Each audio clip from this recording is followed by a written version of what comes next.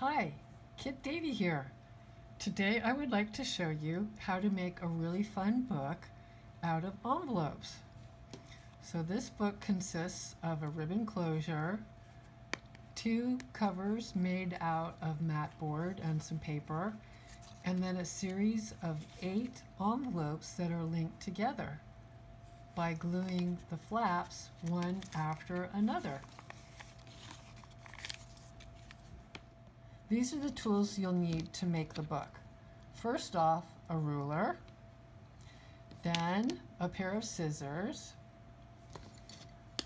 a brush, and some wet glue. You could use Elmer's or PVA, Yes Glue, Mod Podge, and a bone folder. If you don't have a bone folder, you can use a dinner knife that you turn over to the dull side to uh, make creases. The components that you need for this book are some mat board, which we'll cut to size, and I'll show you how to do that, and eight envelopes.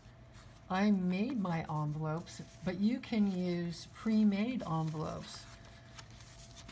And then you'll also need paper, so you need eight envelopes, either ones that you make yourself by uh, downloading a uh, template from the internet and then tracing out the envelopes and creating them, and I'll show you how to do that in a minute.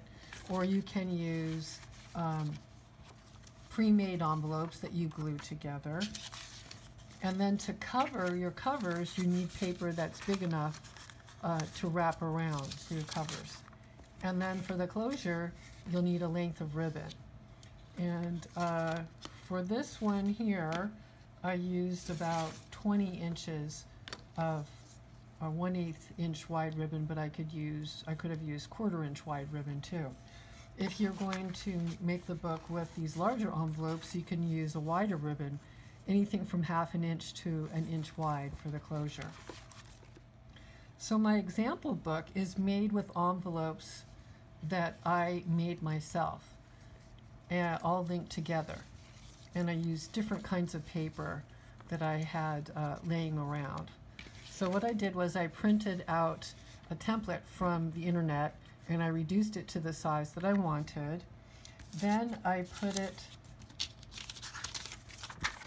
I cut out the uh, squares and put it on top of my squares and cut out the little triangles on each side.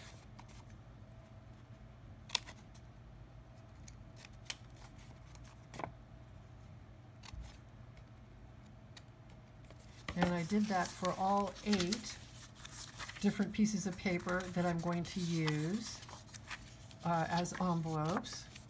And I decided to use a variety of neutral tone papers uh, for this book. Um, and I'll show you how I folded these uh, envelopes once I cut out the shapes using uh, my template. So in order to know where to fold, I am going to use my bone folder and score from triangle tip to triangle tip all the way around.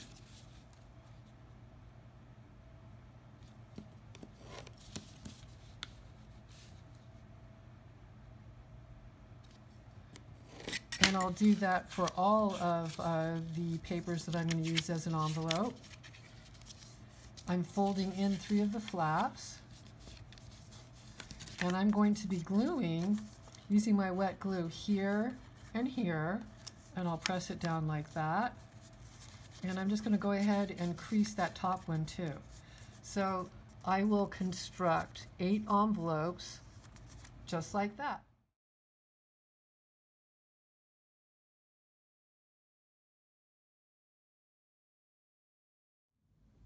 Once I've scored all my envelopes, I can fold them.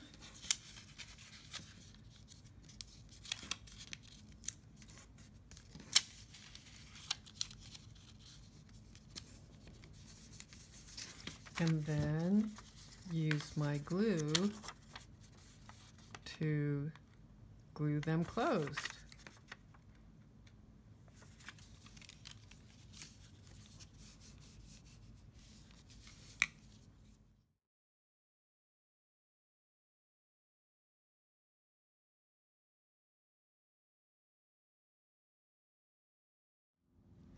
The next part of making our book involves gluing the envelopes together.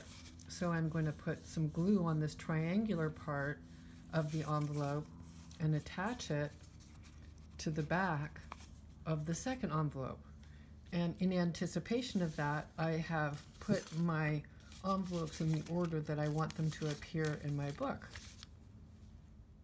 If you're using pre-made envelopes, all you have to do is put glue on this section and then glue that to the back of the bottom of the next envelope and so on.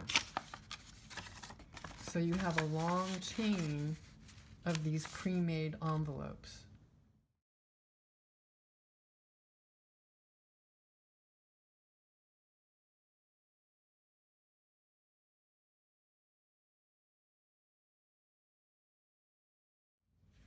Okay, so now I have eight envelopes and I folded them in zigzag or an accordion style, starting with the left-hand side going down and to the right, and then just continuing to make a zigzag. I had to create another envelope because I only had seven. So um, here it is. And now what we need to do is just trim off this last flap. We won't be using it. Okay, so now we have our accordion book made with uh, homemade envelopes. And what we'll be doing next is creating a cover for um, our book, like this one. This one has a, a hard cover on um, the front and the back.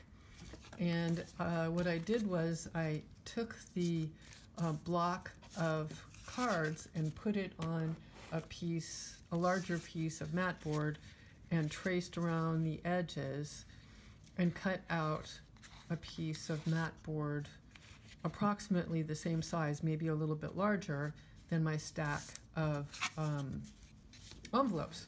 So I need two of those. And then we also need paper to cover the paper or excuse me, the covers.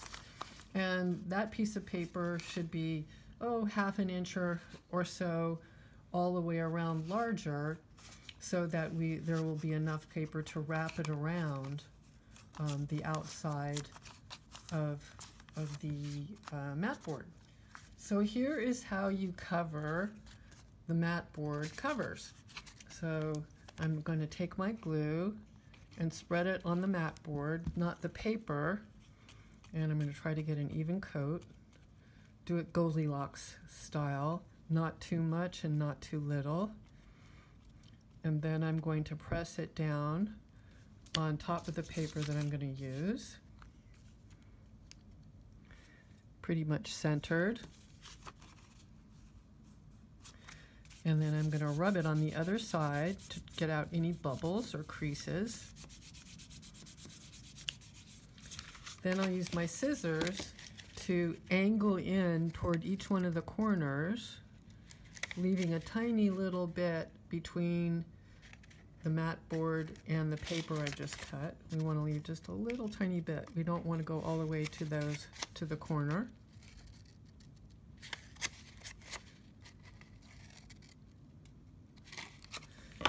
And then I'm going to add glue to two parallel sides.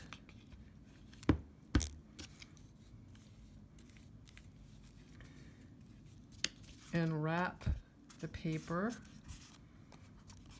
on those sides. And then here, where there's just a little bit extra, I'm going to push in with my thumb, my thumbnail, kind of wrap around the point. Do that on both sides. Okay, and then I'm going to add glue to the remaining two sides.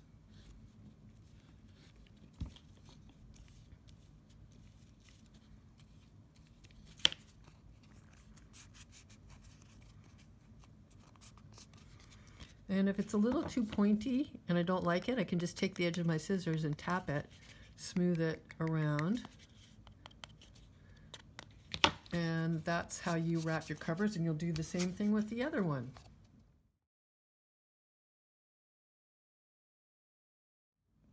So now it's time to add the tie and like uh, for the example that I made, there's a tie that gets wrapped around to keep the book from flopping open. So I look at my covers and I think I want this one to be the front and we're going to be applying the ribbon to the back panel of our book. So I'll put a little bead of glue here,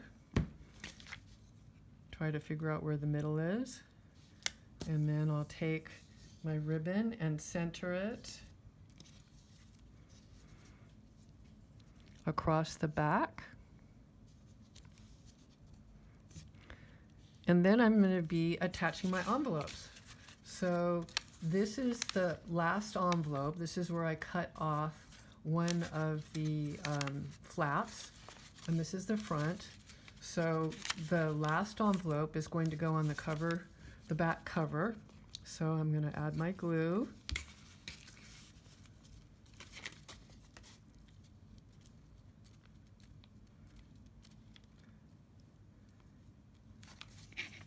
And I'm going to do my best to center it over the cover.